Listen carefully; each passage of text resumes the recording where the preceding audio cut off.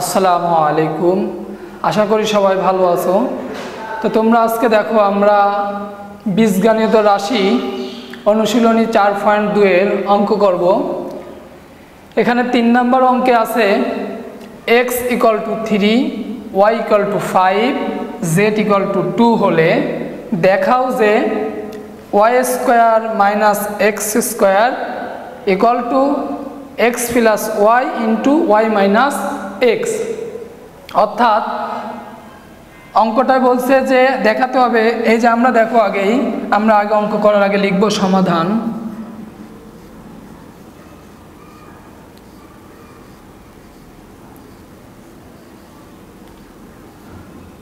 দেখো এবার, এইখানে দুটো পক্ষ, অর্থাৎ এই যে ইকল টু ইকল টুর এই পাশে একটা পক্ষ, এই পাশে একটা পক্ষ আমি ইকল টুর এই একেবারে মিডিলে বরাবর দাঁড়ালাম। আমি দাঁড়ালে দেখো আমাদের হাতের বাম দিক আছে Y square minus X square তাহলে আমরা লিখব বাম পক্ষ।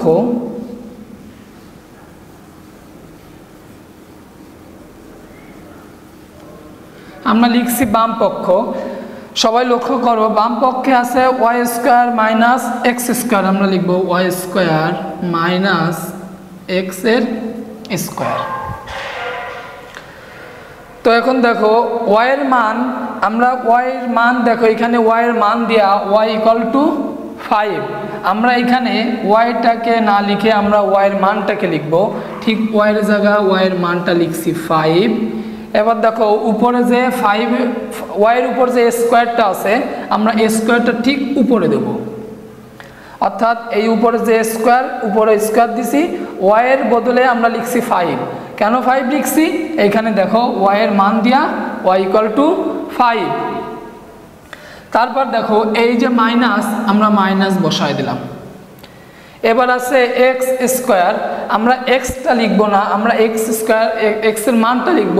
তাহলে দেখো, এখানে এক্সের মান দিয়া এক্স ইকাল টু থ্রি আমরা লিখব এক্সের মান থ্রি এইখানে দেখো এক্সের আছে, উপর আছে স্কোয়ার আমরা স্কোয়ারটা যেভাবে আছে, বসায় দেব। অর্থাৎ, এখানে আমরা এক্সটার বদলে আমরা থ্রি লিখলাম। থ্রি লিখলাম কারণ এখানে দেখো এক্সের মান দিয়া থ্রি উপরে যে এক্সের উপরে যে স্কোয়ার ছিল, বসায় দিলাম। এবার লক্ষ্য করো, এখানে ফাইভের স্কোয়ার আমরা দুইভাবে করতে পারি। ফাইভের স্কোয়ার কত হয়? যে আমরা যদি দেখি যে ফাইভের স্কোয়ার আমরা উপর থেকে পড়ব যে এই দেখো ফাইভ স্কোয়ার এর উপরে আছে টু স্কোয়ার অর্থাৎ বর্গ বা টু এইখানে দেখো আমরা তার উপরটা বলব দুটো ফাইভ দুটো ফাইভ তাহলে এখানে গুণ করো দুটো ফাইভ ফাইভ গুণ ফাইভ গুণ করলে হয় টোয়েন্টি ফাইভ অর্থাৎ আমরা যদি উপরটা পড়ি তাহলে আমাদের সহজ হয়ে যাবে যে দুটো ফাইভ দুটো ফাইভ আমরা গুণ করব, যোগ না লক্ষ্য করব এখানে দেখো ফাইভ গুণ five equal to twenty five আমরা লিখে দিলাম টোয়েন্টি ফাইভ যে মাইনাস আছে, আমরা মাইনাস বসাই দিলাম। এবার এখানে আছে দেখো থ্রি স্কোয়ার আমরা আবারও সে উপরেরটা পড়ব, দুটো তিন। গুণ করো রাফে থ্রি গুণ থ্রি ইকাল টু থ্রি গুণ থ্রি গুণ করলে হয় নাইন অর্থাৎ আমরা নাইন লিখলাম। এবার দেখো টোয়েন্টি ফাইভ থেকে মাইনাস নাইন বিয়োগ করলে এখানে থাকে ষোলো, অর্থাৎ সিক্সটিন অর্থাৎ আমরা পালাম বাম পক্ষ ইকাল টু সিক্সটিন এখন আমাদের দেখানো লাগবে ডান পক্ষ। আগেই বলছি যে ইকাল টুর আমি এই যে ইকাল টু ইকাল টুর মিডিলে যদি আমি দাঁড়াই বরাবর, তাহলে হাতের বাম পাশটা হলো আমার বাম পক্ষ, হাতের ডান পাশটা হলো ডান পক্ষ। অর্থাৎ আমরা বাম পক্ষ করে পাইছি Y square minus X square equal to sixteen এবার আমরা করব ডান পক্ষ।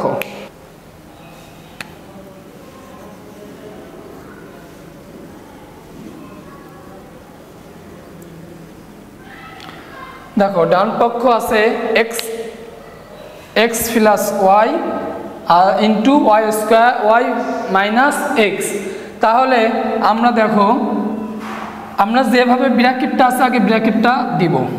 ফার্স্ট ব্র্যাকেট যেভাবে আছে, দিব। দেওয়ার পরে দেখো ব্র্যাকেটের ভিতর আছে এক্স প্লাস ওয়াই আমরা এক্স লিখব না, আমরা এক্সের মানটা লিখব। উপরে দেখো সবাই দেওয়া আছে যে এক্সের মান এক্স ইকুয়াল টু থ্রি আমরা থ্রি লিখলাম। এবার দেখো এই যে প্লাস প্লাসটা আমরা বসাই দিলাম। এবার এইখানে দেখো, আবার আমরা ওয়াই লিখব না ওয়াইয়ের মানটা লিখব। যেহেতু ওয়াইয়ের মান দিয়ে আছে ওয়াই ইকুয়াল টু ফাইভ আমরা লিখব Y equal to five first bracket ঘিরে দিলাম। শেষ ফার্স্ট ব্র্যাকেট কাজ। এখানে এবার আরেকটা ব্র্যাকেট ইনটুর পরে আছে ওয়াই মাইনাস এক্স আমরা এবার ওয়াই মাইনাস এক্সের কাজ করব, আমরা ব্র্যাকেট শুরু করলাম। দেখো, এখানে ওয়াই লিখব না আমরা ওয়াইয়ের মান লিখব। তো ওয়াইয়ের মান দেওয়া ওয়াই ইকুয়াল টু ফাইভ আমরা লিখব ওয়াইয়ের বদলে ফাইভ এই যে মাইনাসটা বসায় দিলাম। এবার দেখো আছে এক্স এক্সের মান দেখো এখানে দিয়া এক্স ইকুয়াল টু থ্রি সেহেতু আমরা এক্স লিখব না এক্সের মান লিখব এক্স ইকুয়াল টু থ্রি ব্র্যাকেটের কাজ শেষ। ব্র্যাকেট দিয়ে ঘিরে দিলাম। এবার দেখো ফার্স্ট ব্র্যাকেটে আছে three plus five three plus five আমরা প্লাস যোগ করলে হবে থ্রি আর ফাইভ যোগ করলে হয় এইট এবার দেখো, এই পাশে আছে ফাইভ মাইনাস থ্রি এখান থেকে ফাইভ থেকে থ্রি বিয়োগ করলে থাকে টু একটা জিনিস লক্ষ্য করো, এইখানে যে ফার্স্ট ব্র্যাকেট ছিল, আমরা এইভাবে ফার্স্ট ব্র্যাকেট দিতেও পারি। আবার ফার্স্ট ব্র্যাকেট না দিলেও প্রবলেম নাই। একটা জিনিস এইখানে, যে এইখানে দুটো ব্র্যাকেট আছে, দুটো ব্র্যাকেটের মিডিলে দেখো, এইখানে কোনো চিহ্ন বা কিছু নাই। কিছু নাই মানে ওইখানে ইনটু অর্থাৎ দুই ব্র্যাকেট যেখানে থাকে ওর ভিতরে কিছু নাই মানে ইনটু গুণ। সে তো এখানে গুণ। তাহলে দেখো এইট গুণ টু ইকাল টু সিক্সটিন আমরা বাম পক্ষ করব, পাইছিলাম যে সিক্সটিন অতএব বাম পক্ষ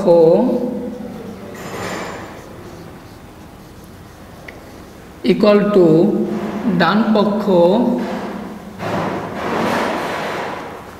দেখানো হলো।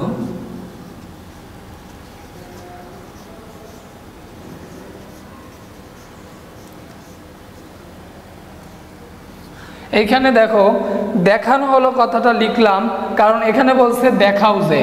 সেহেতু আমরা বাম পক্ষ ইকল টু পাইছিলাম সিক্সটিন ডান পক্ষ ইকল টু পাইছি সিক্সটিন সেহেতু দুই পক্ষই সমান, তাই আমরা লিখলাম বাম পক্ষ ইকল টু ডান পক্ষ দেখানো হলো। ধন্যবাদ। সবাই ভালো থাকো সুস্থ থাকো। আসসালামু আলাইকুম।